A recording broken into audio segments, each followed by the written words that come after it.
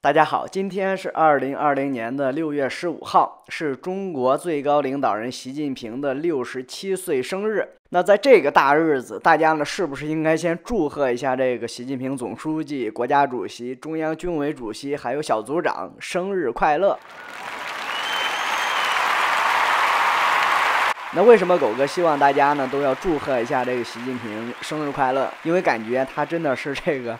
太孤单，太可怜。可能有这个网友会知道，昨天呢也是一个大日子，是美国总统川普的生日啊，七十四岁的生日。这个呢是挺有意思的一个事儿，就是川普的生日和习近平的生日呢，正好是紧挨着，就差一天。所以呢，如果是这两个人他们的关系真的是非常好啊，就像这个川普说的，是这好朋友。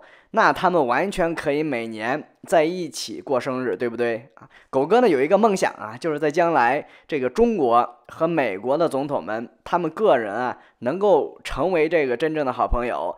中国和美国这两个国家的人民，在将来呢也能够成为在世界观、在价值观方面都比较一致的人群。能够呢，真正的互相的亲近，互相的欣赏啊，这个呢就是狗哥的一个梦想啊。不知道在这辈子啊还能不能看到这一天啊？应该呢是非常有可能的。只不过呢，就是那个时候的中国呀，跟现在的中国那肯定就是两码事儿了啊，完全不一样了。刚才那狗哥说了，就是感觉这个习近平今天太孤单、太可怜。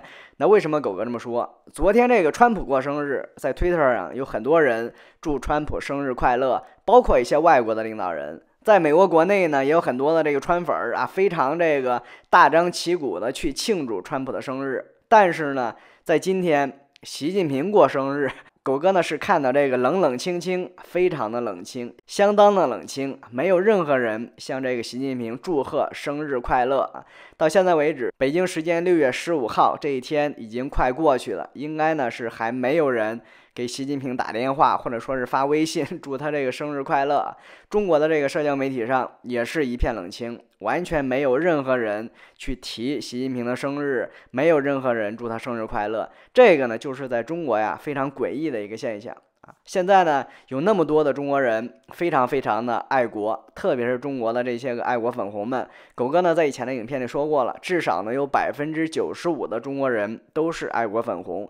那这么多的中国人这么爱中国，那今天中国的最高领导人习近平过生日，为什么没有一个中国人公开祝习近平生日快乐啊？为什么？正在看这个影片的这个中国的爱国粉红们，狗哥呢是特别希望你们能够留言来回答一下这个问题：你们是不是认为中国跟习近平是两码事儿啊？是不是认为这个习近平不能代表中国？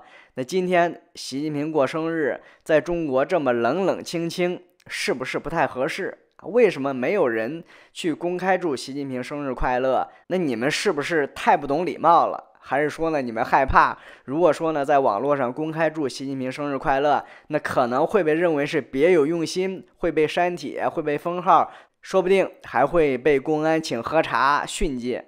狗哥认为呢，很大概率啊是最后一种情况，就是在这个集权体制下呀，民众没有批评最高领导人的自由，那时间长了。这个赞扬最高领导人的自由，他也没有了啊！即便是有人呢是真心实意的想去公开的赞扬一下最高领导人，但是呢，由于这种自我审查已经成习惯了，一提到最高领导人呢，他就会觉得这个很敏感，所以呢，他想公开赞扬他也不敢了啊！大家说是不是这个道理？其实呢，不仅是这个自我审查，中国的现实情况呢，也是绝对不允许私人。个人去公开赞扬最高领导人的啊，大家刚才看到了，昨天美国总统川普过生日，美国有很多的川粉是非常非常的高调，开着游艇在河上去兜风，去祝川普生日快乐啊。那百分之九十九点九九九九九九的中国人当然是没有自己的游艇的，那能不能开着车，或者说是骑着自行车，在中国的街道上，你公开扛着国旗，带着习近平的大照片呢，去祝贺习近平生日快乐？狗哥可以非常的确定。显然是不可以。如果在中国真有人这么干，过不了十分钟，狗哥就可以确定就会有公安来阻止，并且呢会把你带到派出所问你是什么意思啊？那如果说有中国的爱国粉红们不服气、不认可这一点儿，那今天呢就可以去试一下，看是不是会出现这种情况。说到这儿呢，狗哥又想到了一个很著名的苏联笑话啊，就是在苏联时期，有一个人在莫斯科的红场啊，这个呢就相当于北京的天安门广场，在红场上发传单。这个苏联特务机构克格勃的人马上就赶到现场了，然后呢就发现那个人发的传单呢，其实呢都是白纸，上边呢什么内容都没有啊，就是白纸一张，但是呢。科格勃还是决定要把发传单的那个人逮捕啊！那个人呢就提出抗议，那科格勃的这个特务就回复他说：“啊，虽然你发的是白纸，但你真的以为我不知道你是什么意思吗？” 那苏联出现过的这种很荒唐的情况，就是中国现在的现实啊！中国人。不能够公开的批评最高领导人，没有批评最高领导人的自由。那同样，现在呢，也没有私自擅自公开赞扬最高领导人的自由。所以呢，今天在中国才这么冷冷清清。习近平过生日，没有人敢去公开祝习近平生日快乐。那大家说，这个是不是就反映出中国这个集权体制的荒唐和荒谬？狗哥呢，还是那句话，如果正在看这个影片的有中国的网友呢，对狗哥的这个看法不认可、不服气，那你们呢也可以去北京的天安门广场呢去试一下啊，也带着一些白纸呢去天安门广场上去这个散发一下。狗哥可以非常确定、一定以及肯定，十分钟都用不了，两分钟之内警察就会出现把你拿下。如果说有爱国粉红不服气，那真的就可以去试一下。狗哥估计啊，也没有哪个粉红不服气、不认可这一点儿啊。那中国什么样？中国政府到底是天使还是魔鬼？平常中国人呢，你可以集体的去装傻、去装天真，可以在网上去冒充大尾巴战狼当键盘党。但是，一旦涉及到自己的切身利益啊，一旦涉及到这个现实生活里的 这种实际的行动，那中国政府到底是不是为人民服务的？中国的这些个爱国战狼粉红们，其实呢心知肚明，心里非常明白，这个呢就是虚伪，也是非常可怜，真的是让狗哥非常的看不起。所以呢，在中国这个普通人的自由啊，它是被全面碾压的啊。其实呢，不仅是普通人，在中国的这个集权体制里啊，可以说所有人的自由都是被全面限制的，除了一个最高领导人习近平。在中国，习近平呢，他是绝对不允许被公开批评的。公开批评习近平的，肯定呢都要进监狱的。就像任志强啊，那公开赞扬习近平也是不能够随便进行的。什么时候赞扬习近平，怎么去赞扬习近平，那都需要习近平本人的批准。这个呢，就是中国最近几年来确立的一个状况。那今天是这个习近平的生日，习近平呢，他就给自己啊送上了一份生日的大礼物啊，就是中国官方媒体发的一篇文章，名字呢是这个。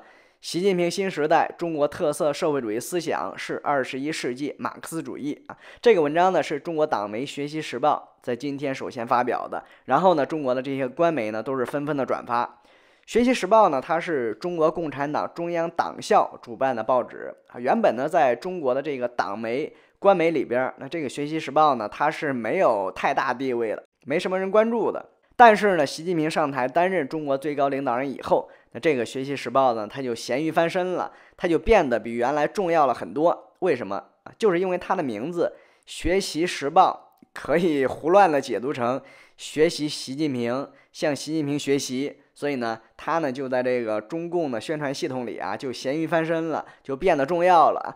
除了这个《学习时报》，大家都知道，中国还有一个 App 叫“学习强国”。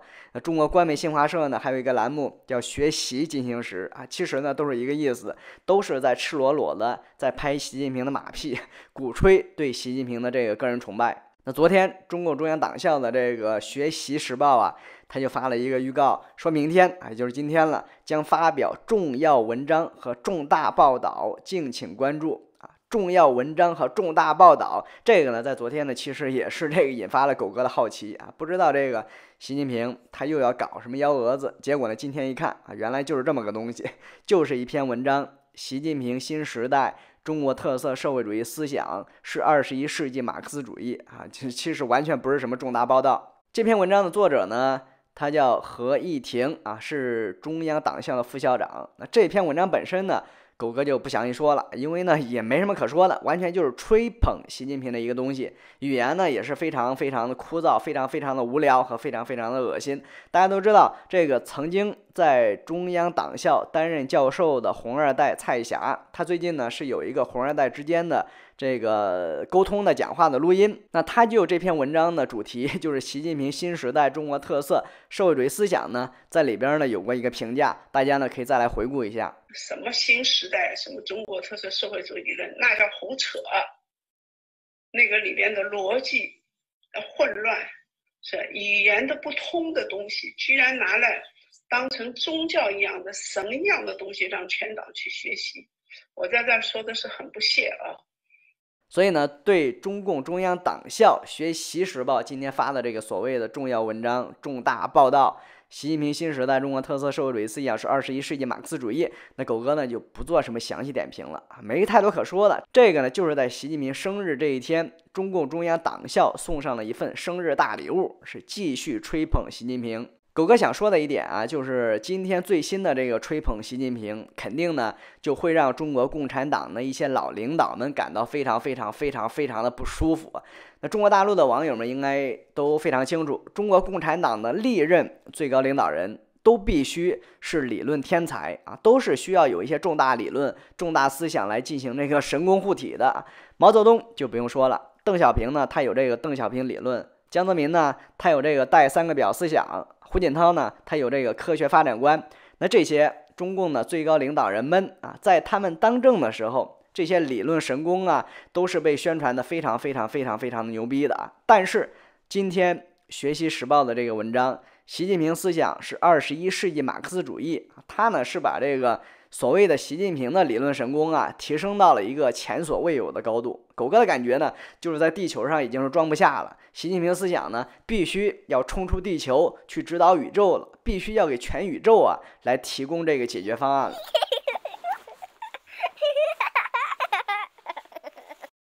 文章说呢。啊，今天的这个说法是中国共产党第一次以世纪为尺度命名马克思主义中国化最新成果啊，也就是这个习近平思想。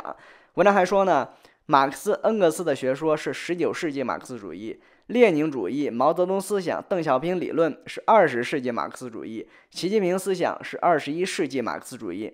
那大家就可以想一下，那这个是不是就没这个江泽民、没胡锦涛什么事儿了，对不对啊？这篇文章通篇看下来。江泽民的名字就提了一次，胡锦涛的名字 也是就提了一次。江泽民的这个神功理论啊，带三个表思想；胡锦涛的科学发展观在文章里边都是压根儿就没提。那大家说？老领导们如果说看到这篇文章，心里会是什么感觉？是不是就会觉得这个习近平他真的是太狂妄啊，真的是无法无天？你完全不把这些老领导们放在眼里啊，人还没死呢，你就要在这个中国共产党的理论里被抹掉了，对不对？但是呢，狗哥必须要说，这个呢就是中国共产党的一个现实，也是整个中国的一个现实，就是习近平他真的就是享有这个一尊的地位啊。不管是在中国还是在中国共产党党内，都是一尊的地位啊，唯我独尊，没有人敢公开挑战习近平的地位所以呢，很多人现在在想象里还有什么江派、上海帮、团派啊什么的，跟这个习近平的内斗，这个呢基本上都是扯淡啊。习近平刚上台的那几年，确实存在这种斗争。但是呢，在二零一八年修改宪法以后，他成为中国终身领导人以后，从那个时候开始，就已经标志着习近平呢，他已经成功夺取了这个一尊的地位啊。中共党内的斗争呢，肯定还会有，但是呢，已经没有哪个人或者说是什么势力敢公开挑战习近平的地位，或者说呢，是公开质疑习近平的政策啊。从二零一八年开始。已经是不存在了。习近平呢，在中国，在中共党内都是完全已经建立起这种个人独裁了。最近几个星期，还有很多人呢都在关注这个李克强跟习近平的关系，关注他们的矛盾是不是公开化。狗哥也认为呢，这个呢也是过度关注啊。狗哥在以前的影片里就说过，李克强他虽然是中国国务院总理啊，中共党内的排名也是这个第二号的人物啊，仅次于习近平，但其实他呢。就是给习近平打工的，就是一个高级打工仔，他完全没有意愿去公开挑战习近平，在实际上呢，他也没有能力啊。用蔡霞的话讲呢，中国的军队、武警啊这些暴力机构都是完全捏在这个习近平的手里，中国的普通老百姓呢又都是这个乌合之众、墙头草，所以呢，在中国即便是有挑战者啊，包括李克强，那你靠什么去挑战习近平？你手里没有枪杆子、刀把子啊，又没有这个普通的中国人愿意跟你站出来，那你呢有什么资本去挑战习近平，对不对啊？不可能的。现在中共党内啊，对习近平百分之百都是言听计从，包括李克强，还有什么汪洋之类的啊，他们能保住现在的这个职位待遇啊，就已经很不错了，对他们个人来说。李克强前一段时间说什么地摊经济啊，说中国有六亿人月收入不到一千块钱。其实呢，他就是一不小心说了这个大实话，完全不是要故意挑战习近平，他没有公开挑战习近平的想法，更没有资本。所以呢，在现在，在将来，那习近平在中国政治上的这种一尊的地位，绝对独裁的地位，是没有人能够公开挑战的。他这几年来的各种这个内外的政策。进行根本性改变的可能性呢，也是非常非常的小啊，除非在将来中国经济呢出现一个大崩溃的局面，那到时候呢，那可能呢才会有改变啊。所以呢，这个呢就是蔡霞在他的这个讲话最后说的：“中国人很不幸，命该如此。”好了，今天这个影片呢就聊这么多。最后呢，大家呢再一起祝愿一下很孤单的习主席啊，生日快乐吧！非常感谢大家的观看。也欢迎大家能够点赞、评论、转发、分享狗哥的这个影片。咱明天再见，拜拜。